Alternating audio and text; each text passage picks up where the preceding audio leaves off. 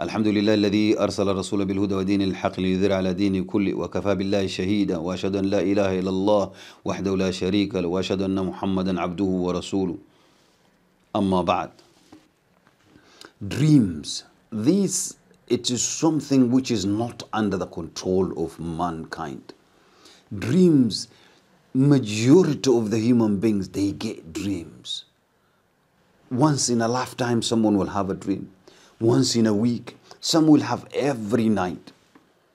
Some once in a year. This is not under our control. This is something comes to us. Now these dreams has been divided into three. From ourselves what we think too much about it. From the devil mal'oon kafir shaitan jinn. And from Allah Rabbul Izzah and the ones which comes from Allah are two good dreams. And the one which comes from the shaitan is bad dreams. In Arabic is called hulm is from shaitan a ru'ya is from Allah Rabbul Izzah meaning nightmares are from the shaitan and good visions are from Allah Rabbul Now when the dreams are from Allah are always two. Glad tiding and warning you. And the shaitan ones is always to terrorize you to give you nightmares. Now there's a lot of people today they get dreams of warnings but they don't react upon it and they don't know what is it. This will be from the series inshallah slowly slowly we'll build up we talk about dreams. Today i'm going to talk about one specific dream but before i get to that i'm going to tell you the people who are inflicted you will see them dreaming different type of things dream of snake dream of eating dream of this dream of that. Dream of being chased around dream of falling from heights dream of being bitten dream of lions dream of them being in a box. The list goes on.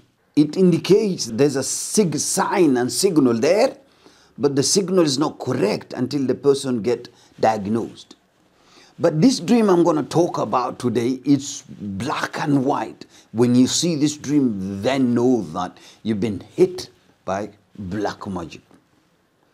This dream, when you sleep and you have somebody, whether you know or you don't know, comes to you and told you so and so has done magic on you.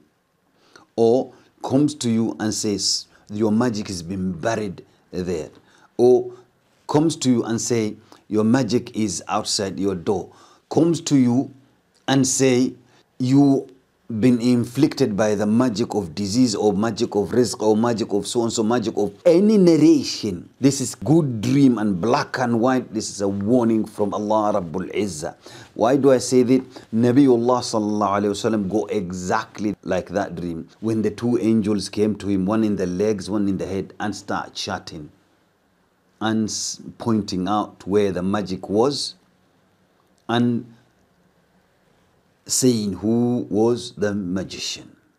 So when you get a dream and says so and so is the one who did the magic, so and so is a magician, or your magic has been buried in front of your door, or your magic has been tied in your car, or your magic has been tied in the tree, or your magic has been buried in so and so grave, you should be worried. You should go and find out. You should go and dig it. Or your magic has been buried in the toilet, or your magic is in the kitchen. Whether you know this person or you don't know, this dream tells you that you have black magic on you. If you have any question or you need counseling, the email is there, inshallah. Drop an email and we'll counsel you, inshallah, by the will of Allah. واخر دعوانا وسلام على المرسلين والحمد لله رب العالمين